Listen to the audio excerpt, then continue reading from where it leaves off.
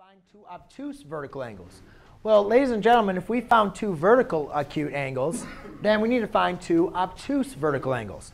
So if we said these two are acute angles, if we look at the here's their acute, remember obtuse has to be larger than 90 degrees. So we can see that this angle right here, what is it? What was that vertex here? Um, what was that vertex I written down? F. So what we can look at this, we could say that BFD, that's going to be larger than 90 degrees. So if I say this angle, BFD, angle BFD, that's going to be vertical. That's going to be vertical angle with what other angle? Yeah, Jake, you want to give a shot?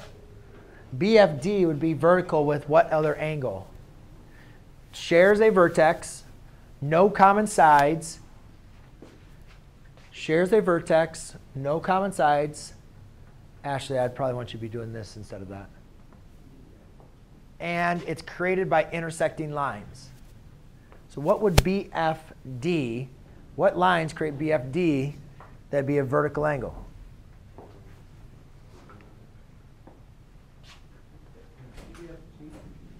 Take a look.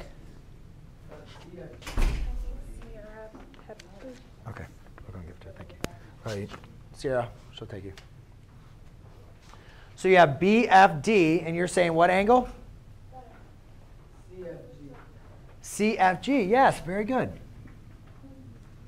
Do you see BFD and CFG? Those are across from each other. They have the same vertex, and they do not share any sides. So you could say angle BFD and angle CFG are vertical. And not even so much the vertical, but they're obtuse as well. Okay? Very good. You guys are so smart.